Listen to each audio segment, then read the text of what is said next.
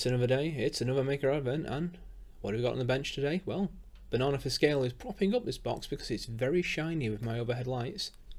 It is some Poundland fairy lights, 50 multicoloured fairy lights. So these are what we call Christmas lights, fairy lights in the UK.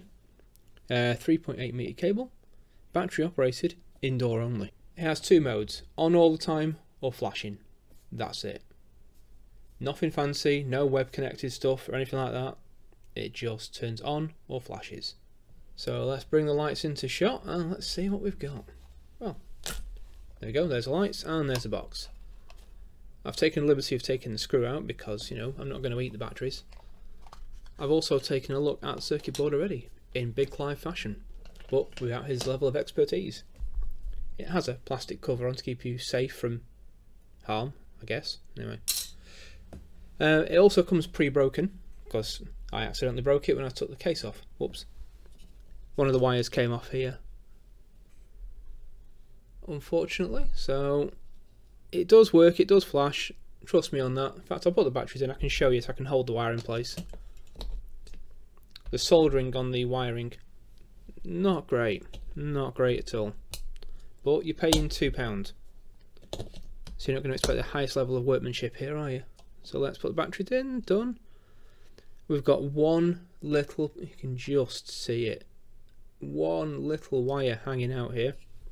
I'm going to set it to on. And I'm going to hold that wire to the contact.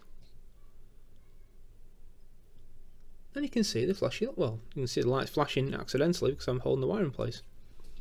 If I set it to flash now,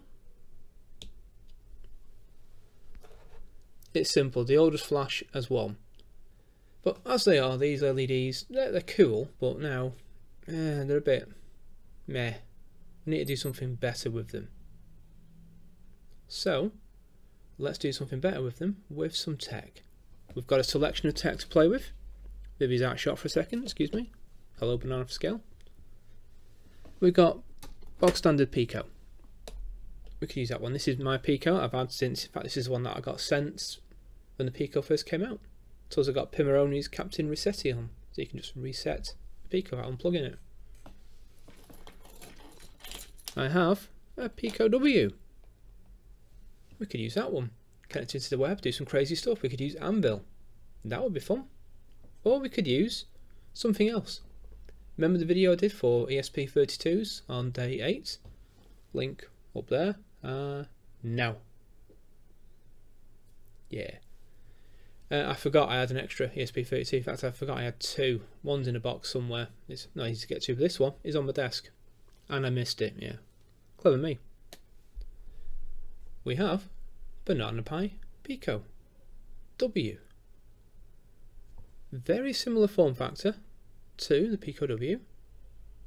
Very similar pinout. I've not confirmed if it's exactly the same. I will later in this video, trust me. And similar price. But this is ESP32. It doesn't have the programmable I.O. and the multi-cores and blah blah blah that this has. But ESP32 is tried and trusted, been around for years, it does the job. So perhaps that'd be an interesting one to play with today. Wire up some circuits, make those lights flash, perhaps web connected. Could be fun. Or we could go Pico W, use Anvil. Or just create something really simple with an NPN transistor and have this flashed when a sensor triggers it. What shall we do? What shall we do? Find out in a second when I cut to the next bit of the video. Well, what a busy day today has been. We have Banana for Scale, Bedazzled, with LEDs, from Christmas Fairy Lights, from Poundland, but they were £2. Okay. Um, Banana Pi Pico, front and centre, controlling the show. We have turned £2 fairy lights, Christmas lights from the pound shop, into internet controlled Christmas lights using Banana Pi Pico, which is an ESP32. Um, absolutely a doddle. So this is running the latest version of CircuitPython. It comes preloaded with CircuitPython, which is just great, fantastic. I'm going to explain how I did this so you can reproduce it yourself. Don't worry about the diagrams, uh, the code and all that. I'm going to stick it all in the GitHub repository and put it in the description down below. So down there.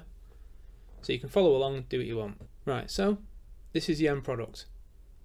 Alright, it's not a banana wrapped up in LEDs. That's a bit silly. That's the end product with LEDs. How's it all work together? Well, circuit diagram.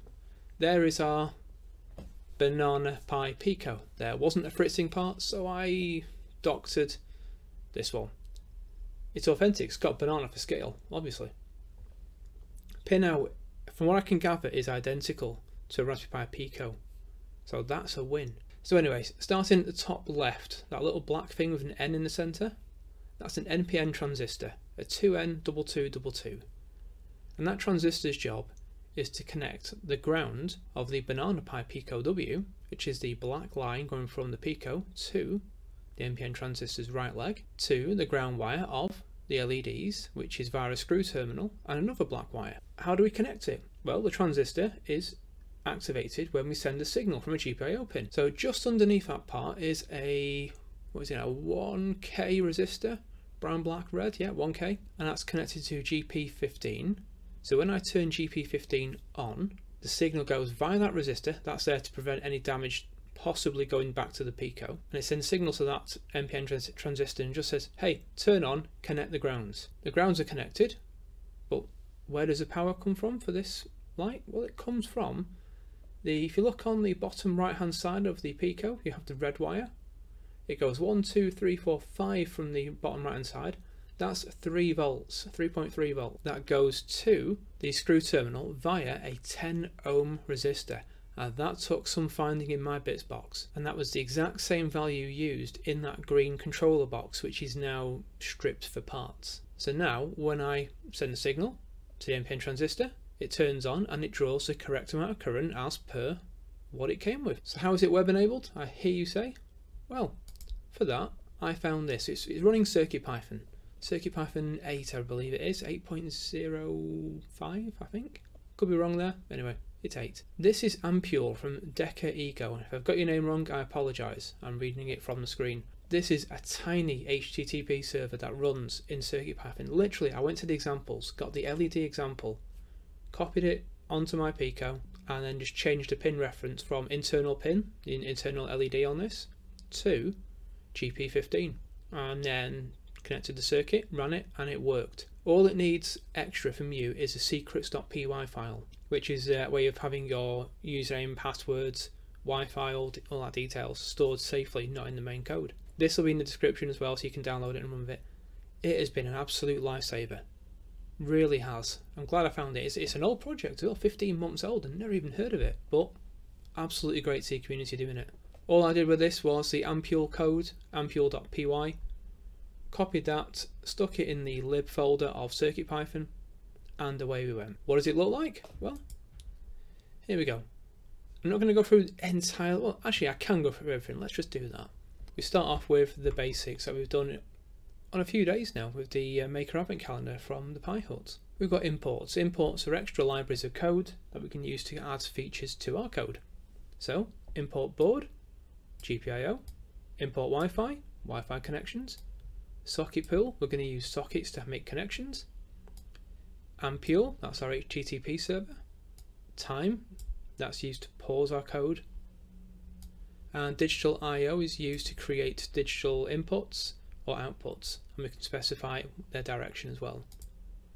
And that's what we do with LED. We say LED is digital in out a board GPIO reference GP15. Its direction is output, so current flows from it. And the initial value is false, off. Here we've got some HTTP headers. I'm not an expert in this area, so I'm not going to delve too much, but it's just something that we need to send with our HTTP request ampule.route on is the next bit.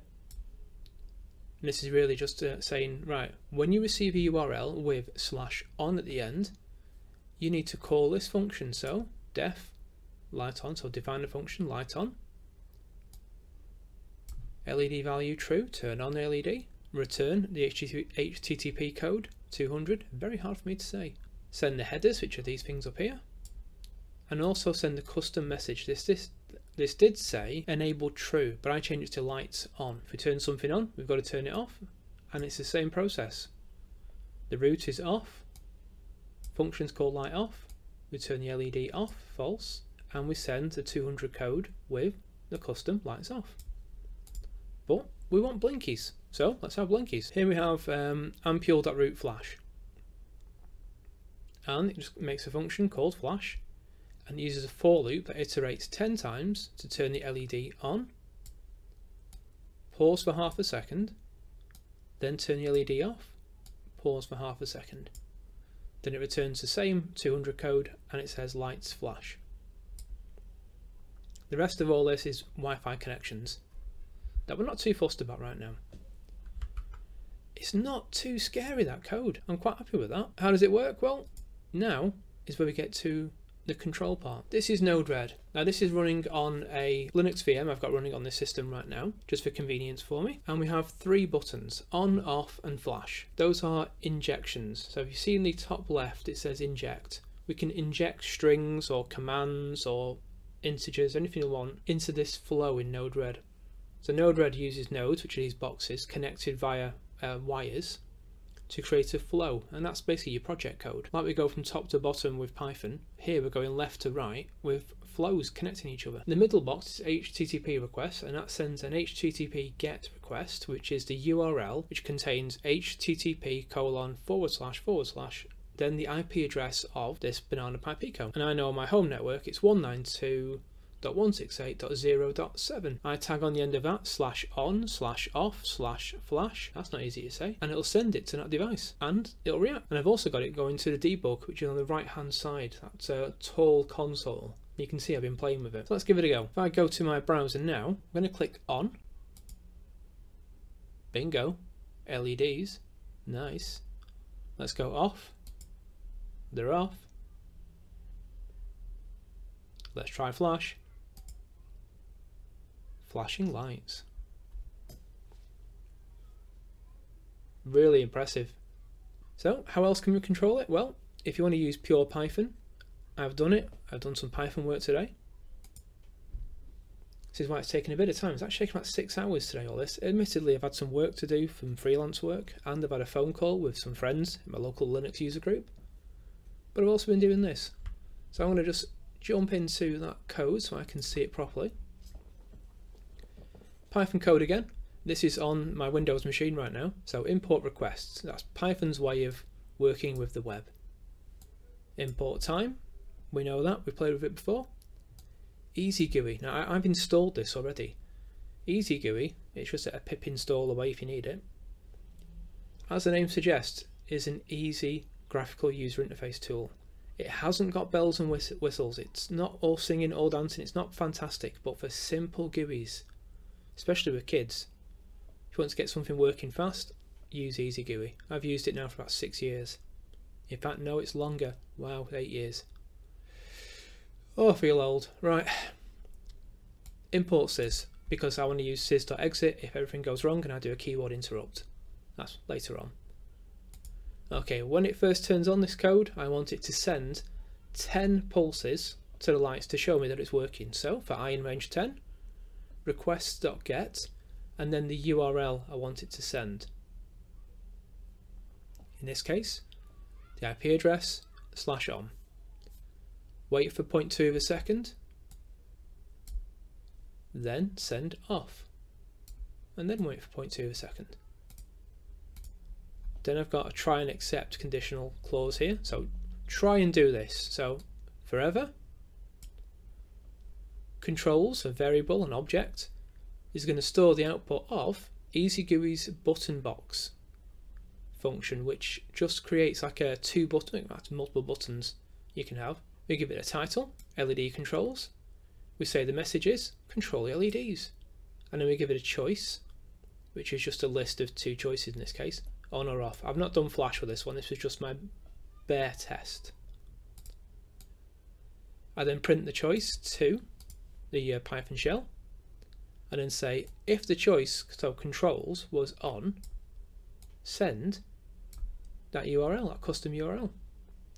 If it was off, send that custom URL. And each time the loop goes round, just wait a second. That's the main body of code. That's the controls for it. This last bit, accept keyboard interrupt, is just to get out of jail free card. If it all goes wrong, I can press Control C and it'll print error to the Python shell and then exit. That's it. Now this one I can't show you working on OBS. There's a little issue with it where it just won't show the window for me and it just crashes. I promise it works. Click on or off and it just works. But yeah, that is it. We have blinky lights. Let's turn them on. Make it all look pretty for the end of the video. So it's taken a bit of work. You can see that I've had to put, so these are the wires here that came uh, with this, these LEDs.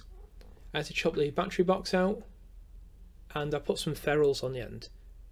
If you want to do proper work with wires, use ferrules. In fact, there's a video from a previous Maker Advent, might be the first year, which I'll put up here.